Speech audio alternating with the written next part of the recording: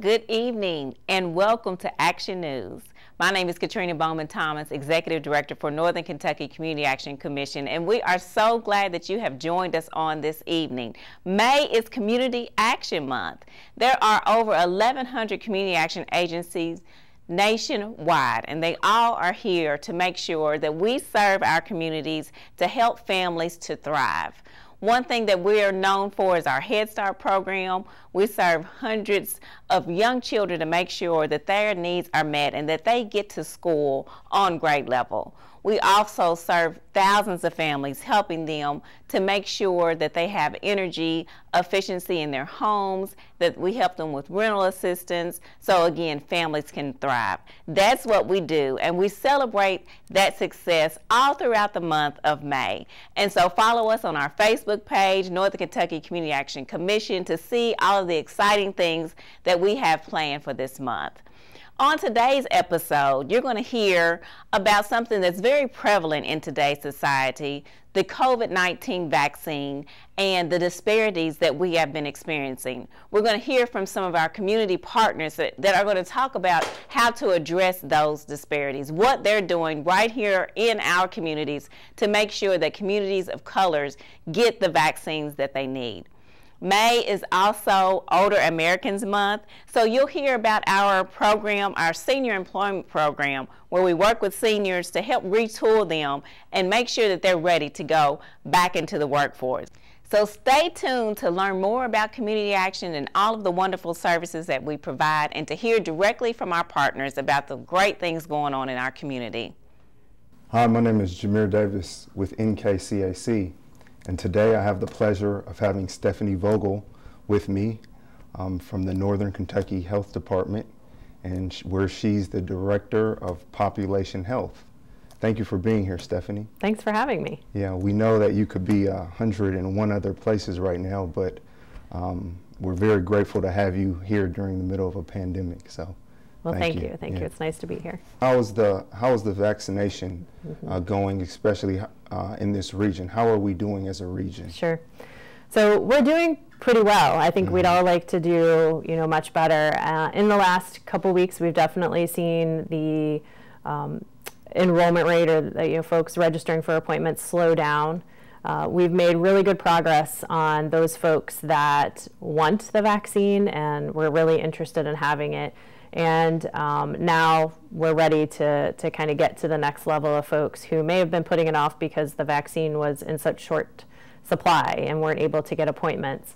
And um, so we've got about, according to our information, which we pull from the Kentucky Immunization Registry, we have about 43% of our residents vaccinated, uh, which is good, but we'd love to get higher. We really want to get to that point where we're reaching herd immunity. Um, the governor, of course, has a goal of 2.5 million people vaccinated so that then we can get back to more normal ways of operating um, like we were prior to the pandemic without having to wear masks and social distance and those types of things. So we're really doing our best to try to strive to get to that 2.5 million folks vaccinated. Right. Um, so things are going well. Uh, there's definitely more work to be done, more people to be vaccinated um, and more more efforts to kind of to dig in and do that. Absolutely. Have you noticed any disparities in the types of people mm-hmm. or age groups of people uh, that are being vaccinated and or not being vaccinated? Sure, that's a great question. Uh, pretty early on, we realized that there were some disparities in the vaccination rates in those who were being vaccinated. And, um, you know, of course, some of that has a little bit to do with how the vaccine was rolling out because it was in such short supply. They really focused on trying to, to prevent more hospitalizations from folks. And so they, they narrowed in and really uh, focused on those folks old, older than 70. And so, you know, for example, we've done a great job for our uh, seniors. Um, you know, we have more than 70 uh, 3% of those folks vaccinated. Uh, mm -hmm. It's mm-hmm. great, and that number continues to con to climb. Each week we see more and more folks vaccinated. So we're doing a really great job there. Um, where we noticed um, work early on where that we needed to focus on was really with some of our populations that were African American, um, Hispanic, um, folks that are tend to be lower income. And um, So we've done a lot of work. We have some work groups that are meeting and developing strategy and communication methods so that we can get information out to help reduce what we call vaccine hesitancy, folks who may not uh, be interested in the vaccine for various reasons. Um, and so those groups are really focusing in on that vaccine hesitancy, the communication, how can we get more information out to people so that they have accurate and timely information. Mm-hmm. And then they're also developing uh, strategies on how do we get out into the community and how do we vaccinate in places to make it easier for folks. And we have work groups working on all three of those particular populations uh, African American, Hispanic, and our low income folks. And some of those crossover too, um, you know, for, for the work that's being done and the communication strategies. Uh, but we're really trying to uh, understand the population, understand um, what we need to do to make those numbers higher. Uh, we've seen a, a great amount of success in the last couple months and really having those work groups focused on it. Um, mm. And so that's been really good to see. They're the numbers are definitely not where we want them to be or not as high as uh, the general population, but without the efforts of these work groups, I, I do think um, we wouldn't be where we are today. That's great. Well, thank you so much for the work that you do in the community um, and doing your job to keep us safe. We really appreciate it here at NKCAC. Why don't you just tell the viewers if uh, they want to be in contact um, to get vaccinated or to get more information about health services, uh, where they can find that information? Sure. So uh, we have obviously a phone number, um, and that phone number is 341 4264. Again, that's 341 4264. And that number will get you to a main uh, number that then you can be redirected to information about the vaccine. You can also check our website, which is nkyhealth.org, O-R-G. Um, again, nkyhealth, period, O-R-G. Um, and we have a COVID vaccine page on the website, along with all of our other information about the health department services. But that's a great place to see upcoming clinics for the week, whether it's with us or another provider. And um, we also have the traditional uh, Facebook and Twitter pages as well that folks could follow us on to get information. And we frequently post information just about COVID in general, COVID vaccine sites that have openings. Um, so those are those are probably the, the easiest way and the quickest way to get the information. Thank you so much, You're Stephanie. Welcome. Thank Stephanie you. Vogel with uh, the Northern Kentucky Health Department. Thank you for being here. Thanks for having me. Absolutely. We are so excited to announce our first annual gala, Hope Blooms, presented by St. Elizabeth Healthcare Center. This is going to be an exciting event. Tickets are still available. Our virtual tickets are available if you go to our website, www.nkcac.org. We're going to have so many interesting performers. We have American Idol winner Jada Blink. We have a local violinist. We have one of my good friends, Rhonda Whitaker Hurt, that will be our honorary chair. So come, engage with us, take part in our first annual gala. My name is Kareem Simpson. I'm the Manager of Operations here at NKCAC, and joining us today is Dr. Uh, Aliyu Anyasi, the Associate Vice President of Diversity and Inclusion at, at um, St. Elizabeth Hospital. Thank you so much for joining us today. So um, thank you very much, Kareem. Um, a disclaimer, I'm not a doctor yet wait three more years, you become your doctor. Gotcha. Okay. yeah, I'm actually in the NKU um, doctorate program, the EDD program. So I'm you wait speaking into existence. So right. We're, we're Thank talking, you. there we go. Um, we just mentioned a little bit how much um, St. Elizabeth is a longtime community partner and is really entrenched in the Northern Kentucky uh, community. In recent years, what are some of the ways that St. Elizabeth has been helping out the region's health?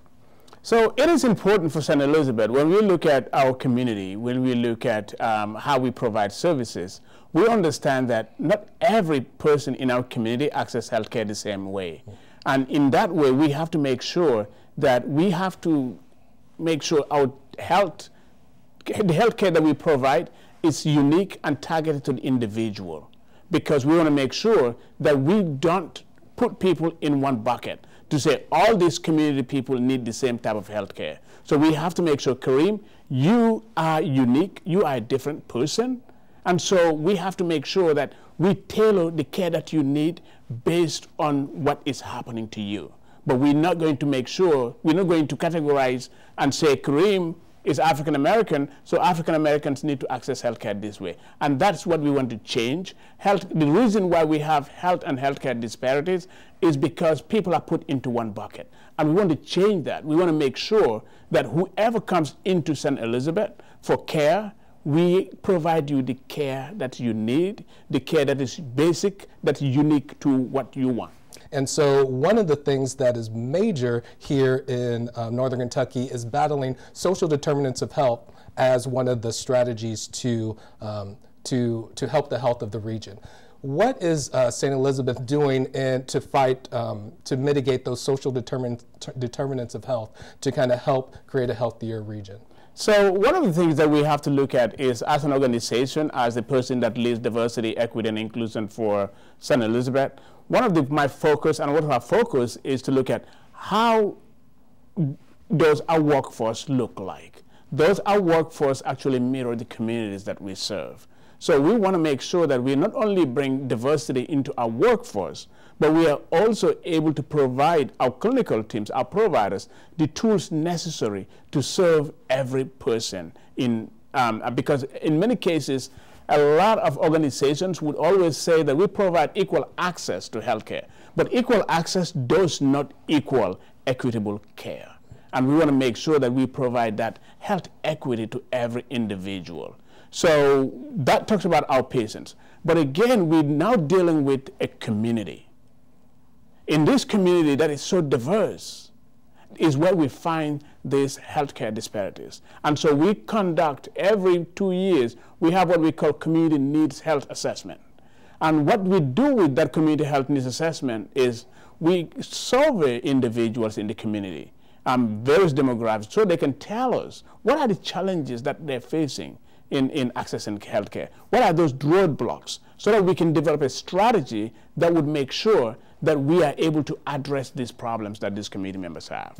And so when we talk about, um, going back to your question, what we want to be able to do is to make sure that we do the community needs health assessment reports that will tell us every demographic in this Northern Kentucky region. We have African Americans, we have Latinos, we have LGBT members, and all these communities have challenges in the way they access care. And COVID-19 actually revealed so many things that we have always talked about. Mm -hmm. And so when you look at what COVID, the impact of COVID-19 in our community,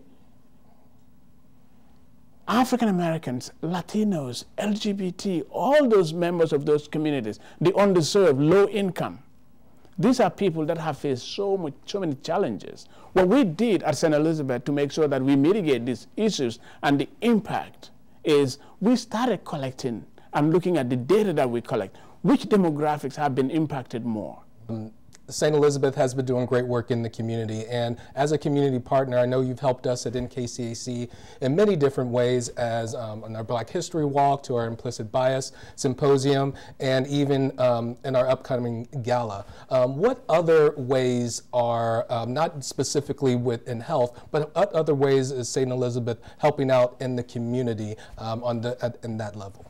So one of the things that I always care a lot about, I care a lot about our young people we know we have a history.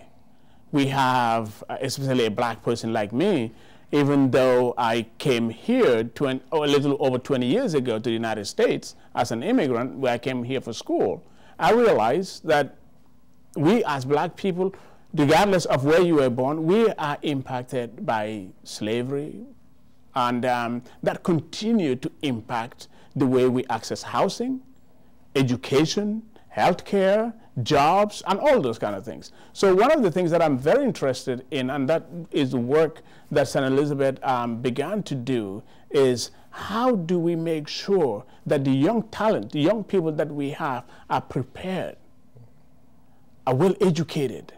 And so even when we talk about healthcare, if we want to eliminate these health and healthcare disparities, we need to get more black people. We need to get more young black men and women educated and interested in these healthcare fields. So one of the things that we are doing, and we're actually um, partnering with Kenton County, with um, Judge, Executive Judge um, Kris Knochelmann's team, and what we provided a grant. And one of those grants is going to help our young people. We're going to work with about 50 young people this coming year, um, beginning actually this um, summer, and these young people are going to go through a school year program. So we start with ninth graders. And we're going to go with these ninth graders all the way to 12th grade, getting them exposed to healthcare fields.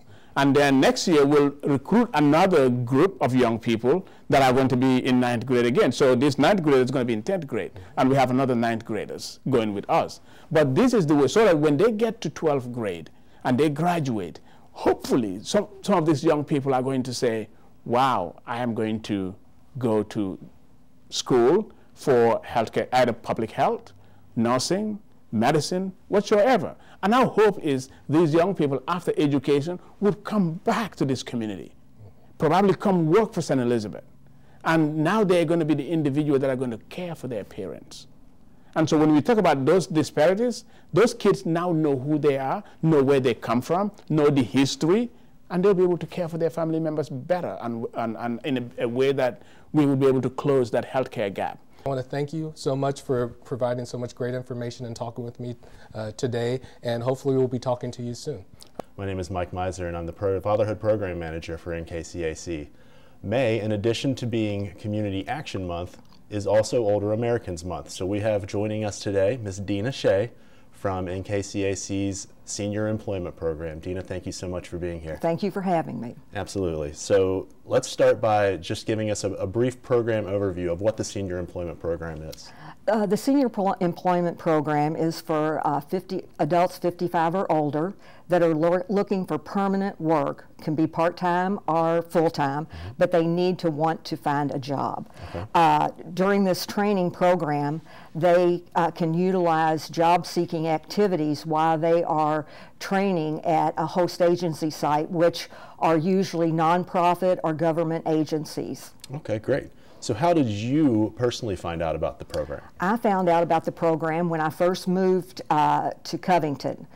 Um, I went to the Career Center because I had had a lapse in my employment history and I wanted some advice on uh, how to redo a resume with a gap. Okay. And so when I was in there redoing the resume, they um, asked me if I knew about the Kentucky uh, Senior Employment Program. And I said, no, I'd never heard of it. So that's how I found out about it. And uh, I went right there from the Career Center, and I'm so glad I did. Nice. That's so great to hear.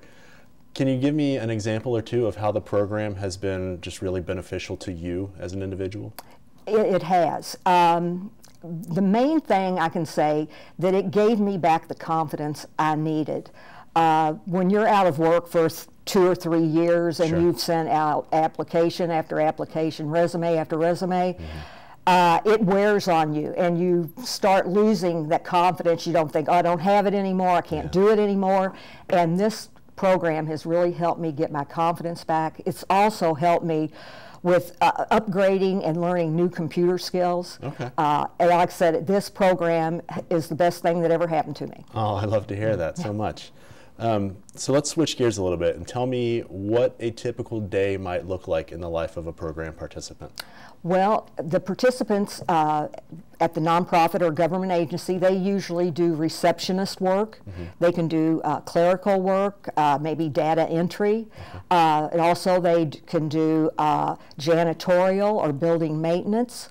Um, that's usually basically uh, a day for a, okay. a, participant. And it would depend on uh, what the participant had put in their application that they would like to do. Maybe they want to keep doing the same thing they had been doing. Sure. Or maybe they wanted to, they want to switch gears. Maybe somebody, I can't stand up like I used to, so I really need a job that I can sit down. That's basically what we try to do. So lots those. of different options for. Oh yes. Great. That's definitely. really good to know. Um, and if you're willing, can you share a little bit with us about what your day-to-day looks like? Uh, well, basically, I start. One of the my major roles right now in the job is I'm doing enrollments. So any calls that come in for new participants or participants people that want to be a participant. Mm-hmm. And I answer all their questions. Usually, then we'll uh, email or mail out our pre application and questionnaire. When they come back in, then I get in contact with them again and we set up uh, what's an intake and orientation, and we go through all the paperwork that's involved and then ex- and explain the program to them through the, orientation in more depth. Wow, that sounds like a wonderful process. Then I answer all uh, questions that the staff at the CSEP office has, okay. uh, any any problems or anything like that, I try to field those. Okay, great. Um, so you mentioned earlier that you've learned some new computer skills. Mm-hmm. Can you expound on that a little bit? Uh, well, the CSEP program helped me out a lot uh, a while back, and they uh, did an Excel class that okay. they, they paid for. Uh, but it has helped me recently. I have learned to do more and more. It's like when you're doing the class, it's it's not really hands-on. Okay. And so I have really uh, learned a lot just hands-on. And the director of the program, Brandon Relaford, is the most patient person, and he can explain things and, and help you out the most of any one person I've ever known. Oh, good to hear. Good to hear. Now, you've mentioned the acronym CSEP a couple of times. Yes. Okay, so Senior Community Services, Services Employment, Employment Program. Program. Correct. Very good. Yes. Very good. Thank you. Um, so let's say that you know you have a friend out there who's 55 or older, seeking employment um, having a hard time finding it, what's the best advice that you could, could give to them about this program?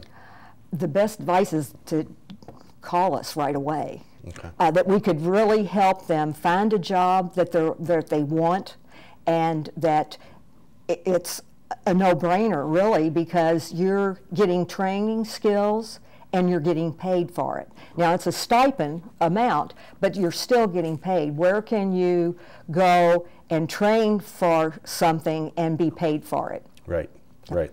Um, and then if you, you know, say someone is maybe having some, has some pause about enrolling in a, a government-funded program like the Senior Employment Program, um, is there anything that you'd like to say to them to help maybe put their mind at ease? Well, I really want to know why they were so reluctant to be in the program, but the only thing I could say is, like I just uh, said a, a, minute ago, I'll reiterate it. I can't understand why anybody wouldn't want to uh, learn new skills, upgrade their skills, and be paid in the process. And also, that organization is trying to help you find a job. Right, that makes a lot of sense. Yes. Um, do you have any contact information available for anyone who might be interested in the program? Uh, yes, they can call our main off our office uh, on it's at uh, 13 West 7th Street mm-hmm. in Covington. Uh, we will be moving some at some point later in the summer. Okay. Uh, but they can contact the phone number is area code 859 655 2986. Great. Okay. Thank you so much Thank for you. joining us, Dana. Thank you for having me. We'll be right back. Welcome back, and we hope that you enjoyed our show. We want to thank our community partners for all the wealth of information they shared. We're so glad to hear about the health department and all the efforts that they're making to make sure that our communities are vaccinated. We want to thank our partners at St. Elizabeth for all that they're doing in the community to really make sure that our care is individualized. And of course, I have to thank Dane, Dina and everything that she's doing with our senior employment program. Seniors are so important. They are the backbone of our program. I hope that you enjoyed our show. Remember, May is Community Action Month. Go to our website, get engaged with us over this month and just help us to celebrate all the work that we do in the community and all of our community partners. And remember our gala, it's May the 14th. You can still get your virtual tickets. We hope to see you there and tune in next time. Community Action, Action News is here just for you.